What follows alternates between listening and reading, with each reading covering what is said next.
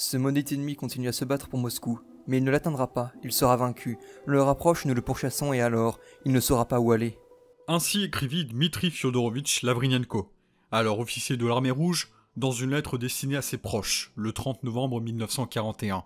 Si Lavrinenko ne put connaître la fin de la guerre, il connaîtra la fureur des combats de l'année 41, face à un ennemi acharné et déterminé à subjuguer sa patrie. Né en septembre ou en octobre 1914 à Bestrachnaya, d'un père vétéran de la Grande Guerre et d'une mère présidente du conseil du petit hameau de Slatki, il dédiera sa jeunesse à son éducation et à celle des autres. Effectivement, entre 1931 et 1933, alors âgé de quasiment 20 ans, Dmitri devient professeur des écoles dans le hameau présidé par sa mère. Suivant un court passage dans un sovkhoz, Lavrinenko se porta volontaire en 1934 pour rejoindre les rangs de la RKK, où il fut assigné à la cavalerie. Ses qualités d'enseignant lui seront tout à fait utiles lors de son séjour à l'école des blindés d'Ulyanovsk, dont il obtiendra le diplôme haut la main.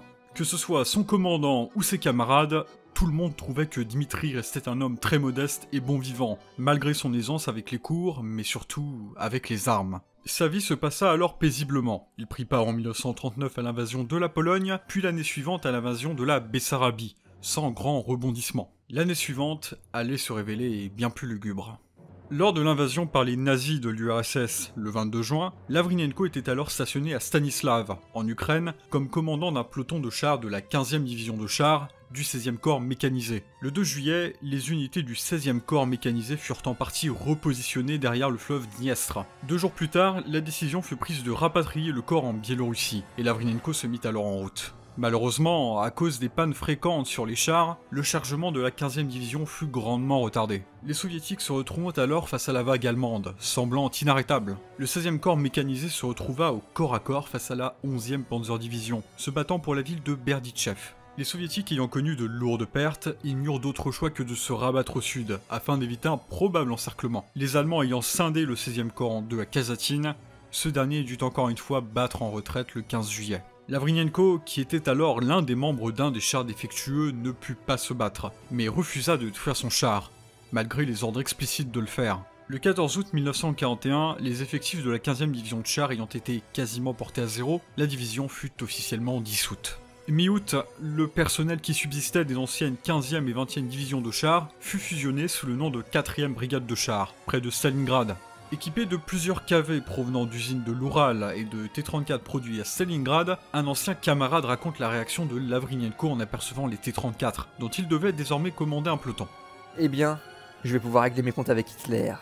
La Stavka ordonna alors le 22 septembre le transfert de la brigade à Kubinka, dans la région de Moscou. Lors de leur arrivée à la fin du mois, la brigade reçut en plus des chars BT. Son entraînement étant achevé, elle fut directement envoyée sur la ligne de front en octobre, près de Mtsensk, face au Panzer Group 2 dirigé par Heinz Guderian. Près du village de Pervivoin, la 4ème brigade fut confrontée à un assaut de la 4ème Panzer Division. Les Allemands gagnant du terrain dangereusement vite, Katukov, commandant de la brigade, décide de dépêcher 4 T-34, sous le commandant du lieutenant Dimitri Lavrinenko. Sans aucune attente, le peloton de Lavrinenko engagea directement les chars ennemis. Attaquant depuis la lisière d'une forêt se repositionnant à chaque tir, les soviétiques affirment avoir détruit 15 chars, dont 4 seulement par Lavrinenko. Les Allemands, quant à eux, ne rapportent que 10 pertes. Le peloton de Lavrinenko ayant eu la tâche de soutenir un peloton d'infanterie, ces derniers furent rapatriés sur le dos des T-34. Au 11 octobre, Dmitri avait à son compte 7 véhicules, un canon anti-char et deux pelotons d'infanterie. Le pilote du T-34 de Lavrinenko, le sergent Ponomarenko, relate cette dernière bataille de la façon suivante.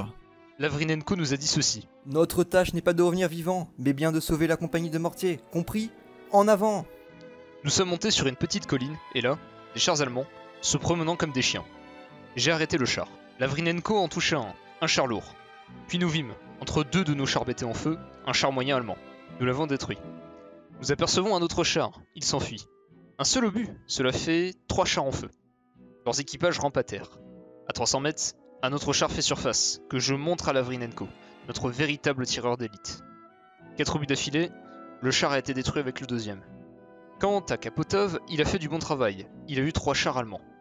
Polanski en a eu un seul. C'est comme ça que nous avons sauvé la compagnie de Mortier, et sans subir une seule perte. La 4ème brigade reçut alors directement l'ordre de se rendre près de Moscou, dans la zone de Volokolamsk. Elle arriva le 19 octobre, sauf pour un char, le T-34 de Lavrinenko. Alors que la brigade avait pris la route montant à Moscou, le char de Dmitri ne put se frayer un chemin à travers la route semée de véhicules et rattraper le reste de la brigade. L'équipage décida de s'arrêter à Serpourov et en profitèrent pour passer au barbier. Leur petite escapade fut interrompue par une nouvelle assez sinistre. L'armée allemande allait attaquer Serpourov dans les plus brefs délais. La division d'infanterie qui défendait la ligne vers la ville venait de tomber et les Allemands avaient le champ libre. Les soldats présents sur place purent avoir le commandement de la brigade au téléphone. Ils décidèrent de créer un détachement composé de la garnison de la ville alors représenté surtout par des civils peu entraînés. Un soldat nota la présence d'un T-34 dans la ville et en informa le commandant, qui réussit à obtenir Lavrinenko au téléphone. La conversation fut assez brève. Nous avons du carburant, les râteliers de munitions sont pleins, tout est prêt pour affronter les Allemands. Montrez-nous le chemin. Sans plus tarder, le T-34 partit s'embusquer à l'oreille d'une forêt près du village. Après avoir rapidement camouflé son véhicule, l'équipage patienta. La colonne allemande commençant à arriver, Lavrinenko n'attendit que les derniers 150 mètres pour faire feu. Détruisant plusieurs canons dans la manœuvre, le T-34 mit les gaz pour aller sur la route. Au même moment, la garnison de la ville prit part au combat et engagea l'infanterie allemande. L'engagement se soldant par une petite victoire des soviétiques, la ville captura un canon anti-char, plusieurs mitrailleuses, mais surtout des cartes et des documents d'un véhicule transportant des officiers allemands, documents qui seront directement envoyés à Moscou. Fin octobre, la division est toujours stationnée dans ce secteur, mais les Allemands s'approchent de jour en jour. La 10e Panzer Division avait réussi à capturer les alentours de Skirmanovo et était lourdement défendue. Sous le commandement de la 16e armée dirigée par Rokossovski, la 4e brigade de chars, qui venait d'être renommée première brigade de chars de la garde et soutenue par un régiment de mortiers de la garde, c'est-à-dire 3 divisions de Katyusha, lança l'offensive le 12 novembre. La première brigade comptait sur un assaut de 15 T-34 et de 2 KV-1. Le peloton de Lavrinenko, composé de 3 T-34 et suivi de 2 KV-1, était à l'avant et avait comme tâche de repérer les points de tir ennemis. Selon le commandant d'un T-34 du peloton de Dimitri, cela se passa comme ça. Nous nous sommes avancés en deuxième vitesse avant de passer la troisième. Dès que nous avons grimpé la butte, nous avions une vue totale de la ville. J'ai tiré plusieurs obus afin d'attirer l'attention des ennemis et d'identifier leurs points de tir. C'est alors qu'un grondement assourdissant s'est fait entendre. C'était effrayant d'être assis dans ma tourelle. Apparemment, les fascistes avaient fait feu avec tous leurs canons et chars retranchés en même temps. Un tir de canon anti-char toucha le T-34 de Lavrinenko. Son opérateur radio-mitrailleur sera grièvement blessé à l'épaule, mais sera promptement remplacé. Les pertes avaient été lourdes pour les soviétiques, les Allemands clamant la destruction de 15 chars, dont 2 KV. Les combats dureront encore plusieurs jours, mais ce n'est que le 16 novembre que les soviétiques lanceront une offensive majeure, date qui sera reprise pour créer la légende des 28 hommes de Panfilov. Commandant un peloton de 3 T-34 et de 3 à 4 BT-7, Lavrinenko a pour ordre de soutenir une division d'infanterie lors d'une attaque sur un village. Avançant à faible vitesse, un des BT repère des chars allemands à 500 mètres, pas moins de 18 véhicules. Les Allemands se précipitent dans leurs chars et s'ensuit un combat bref mais particulièrement meurtrier. Là où les Soviétiques détruiront 7 chars, ils perdirent 2 BT, mais surtout 2 T-34. La chance avait souri à Lavrinenko, puisque des 3 T-34 engagés, il était le seul à en ressortir vivant. Les autres chars allemands, pris de court, se retranchèrent dans la forêt non loin de là. Lavrinenko et le dernier BT foncent alors sur le village, soutenu par l'infanterie soviétique sous le commandement de Panfilov. Cette dernière reçoit l'information que les Allemands tentent de contourner les régiments d'infanterie.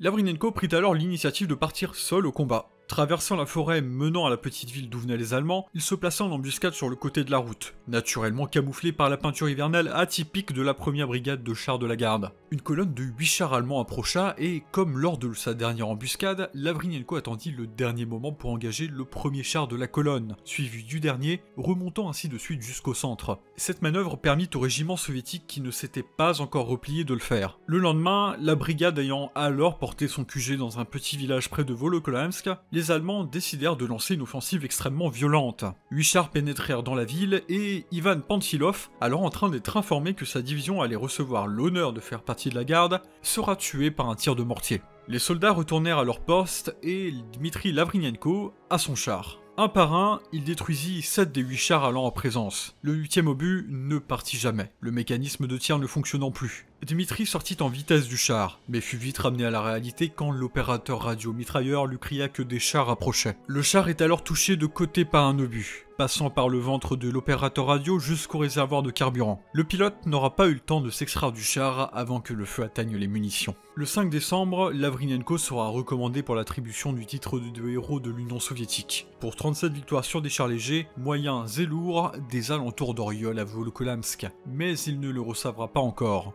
Jours plus tard, les soviétiques lancèrent une offensive sur Istra. La première brigade combattit jour et nuit pour reprendre le village de Kryukovo, alors défendu par la 5e Panzer Division. Une fois la ville libérée, les soviétiques se mirent en route vers Volokolamska. Le 18 décembre, les combats se déportant de hameau en hameau, Lavrinenko et d'autres unités de la première brigade décidèrent d'accélérer le processus et attaquèrent directement le village de Pokrovskoye, alors en périphérie de Volokolamsk elle-même. Tirant et roulant sur les restes des garnisons allemandes, ces derniers se retrouvèrent à fuir le village, se soldant par une capture totale des villages dans les environs de Volokolamsk. C'est durant cette bataille que Lavrinenko détruisit son 52e char allemand, en seulement moins de 3 mois. Après la féroce bataille pour libérer ce hameau, l'artillerie et les mortiers allemands tonnèrent un long moment. Lavrinenko sortit de son char pour aller faire son rapport au commandant de la 17e brigade de chars, et, ironiquement, comme la mort d'Ivan Panfilov qui l'avait tant choqué, Lavrinenko ne vit pas arriver la sienne, de la même manière.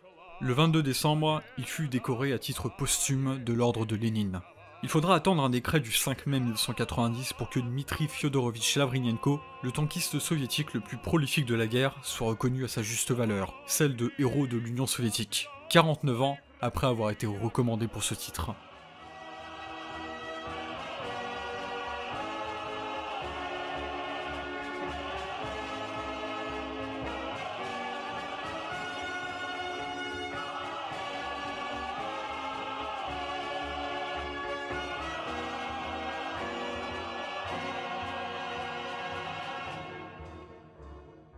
Тех пор салютов много отзвучало, Но каждый день прошедший без войны И каждая весна свое начало, свое тепло Берут от той весны. И смотри, на сынов своих Россия, как будто лишь вчера закончен бой проходят победители седые. Победа остается молодой.